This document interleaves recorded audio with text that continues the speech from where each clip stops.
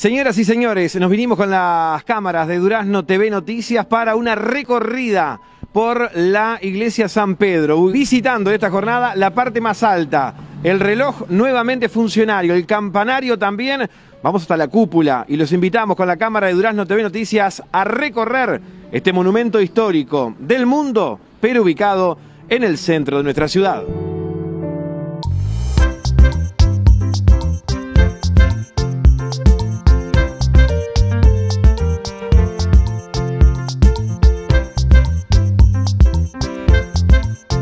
La verdad que es una satisfacción este, poder arreglar este- esta maquinita que es una, una belleza, una antigüedad muy linda, es hermosa y es una meta que me propuse este, este año hacerlo funcionar. Bueno, ¿cuánto hace que no estaba funcionando el reloj aquí de, de la parroquia San Pedro? Y hace ocho años que no funcionaba. Se- este, yo tuve que dejar de darle cuerda hace ocho años y después ya no, no funcionó más. ¿Cuál es la falla que tenía el reloj ahora? Y tenía mucho desgaste. Este, yo cuando dejé de, de- de darle cuerda y de- que no lo mantuve más, fue por un problema de salud que no lo mantuve más. Pero ahí después, este, digamos, vino una persona que no pudo con él, que habían traído para arreglarlo, y no pudo con él y tal, lo dejaron quieto. Y ahora está, este, le, le arreglé un montón de fallas que tenía, desgaste de, de, de pieza. Es una máquina muy antigua, me decía. eh, ¿De qué año es? Este reloj este, fue inaugurado el 23 de agosto de 1923. 1923. Sí, eh, ahora el 23 de agosto cumple 97 años.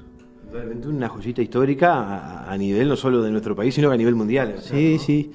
Este, es es, este, muy particular porque tiene dos esferas. Tiene una esfera que da al Plaza de Independencia y otra esfera que da a la parte de atrás de la parroquia.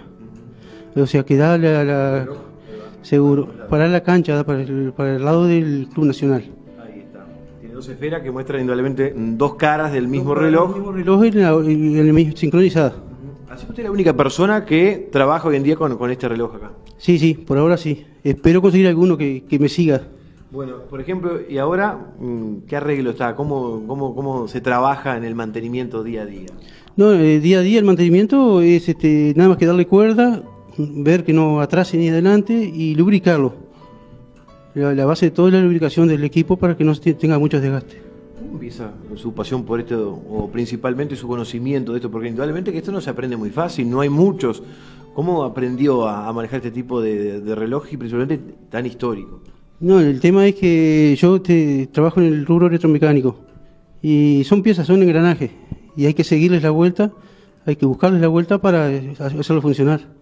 Me decía recién que usted le da cuerda. ¿Todos los días viene acá? Todos los días hay que subir. ¿Cuántos escalones hay que subir? 76 escalones. ¿Lo tiene contado? Sí, sí, están todos contados, sí. Pero debe ser lindo, imagino la sensación de pasar por, por la iglesia, ver el reloj marchando o escuchar las campanas. Sí, también. escuchar la campana es, es divino, es hermoso. Ocho años sin campana, sin reloj, y ahora cómo está funcionando. Y ahora lo estamos ajustando, ahora tengo una diferencia de unos 20 segundos por, por día que me está atrasando, pero lo voy llevando. Eso indudablemente que lo, lo viene a modificar todos los días.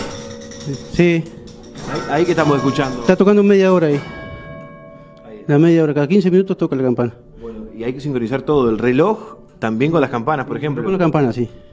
Recién veíamos unas pesas, ahora las vamos a mostrar, que bueno, son fundamentales para la, a la hora de, de darle cuerda también y que eso eh, exige indudablemente un peso importante para Sí, todos los días. Sí, sí, la verdad que sí, son bastante pesaditas las pesas. Bueno, así que vienen todos los días a darle cuerda. Todos los días vengo a recuerdo. ¿Es fundamental que para el funcionamiento el reloj tiene que venir todos los días o se puede postergar esto? No, no, se...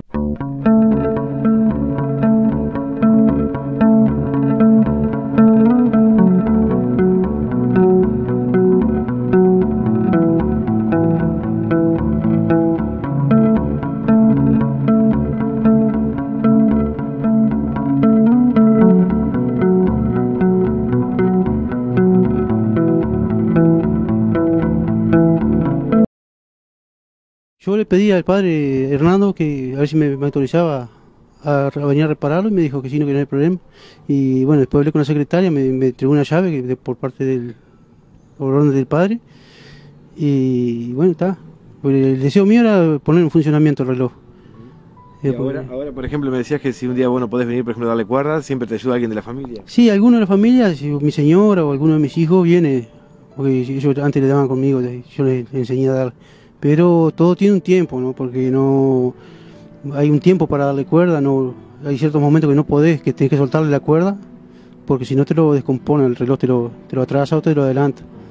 Bueno, y venir acá arriba, me imagino, la parte más alta acá de- del templo, debe ser una, una vista muy linda. Ya estarás acostumbrado, pero por ejemplo, que eh, disfrutás de la visión acá. Sí, sí, aparte sentarse ahí dos o tres horas enfrente al reloj para mirar los funcionarios es hermoso. ¿eh?